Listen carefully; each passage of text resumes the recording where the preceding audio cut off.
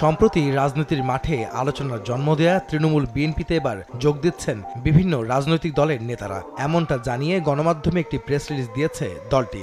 আগামীকাল বুধবার সকালে জাতীয় প্রেস ক্লাবে এক যোগদান অনুষ্ঠানে তারা যুক্ত হবেন বলে জানায় তৃণমূল বিএনপি। শুধু রাজনৈতিক দলই নয়, থাকছেন অবসরপ্রাপ্ত সেনা কর্মকর্তা, সাংবাদিক ও আইনজীবীরাও। আর যে অনুষ্ঠানে প্রধান অতিথি হিসেবে থাকার কথা রয়েছে, বিএনপি থেকে পদত্যাগী নেতা ও তৃণমূল বিএনপির চেয়ারপারসন শমশের মোহন চৌধুরী ও বিএনপি থেকে বহিষ্কৃত তৃণমূল বিএনপির মহাসচিব অ্যাডভোকেট তৈমুর আলম খন্দকারের। বিভিন্ন রাজনৈতিক দলের নেতাদের যোগদানের খবরে চাউর হয়েছে বিএনপির ভাইস চেয়ারম্যান, অবসরপ্রাপ্ত মেজর হাফিজউদ্দিনের নাম।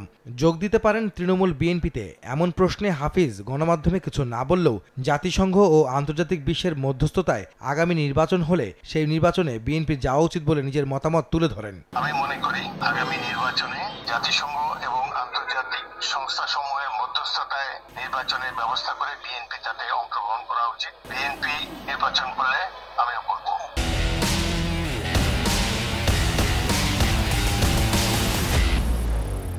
রাজনৈতিক দলের কারা কারা যোগ দিচ্ছেন তার তৃণমূলে, সে বিষয়ে এখনই কিছু না বলে বরং চমক রাখতে চাইছেন তৈমুর আলম। আমাদের সাথে অনেকে আসতে চাচ্ছেন এবং আট তারিখে আগামীকাল আমাদের জয়নিং, আনুষ্ঠানিক জয়নিং হবে, জাতীয় প্রেস ক্লাবে।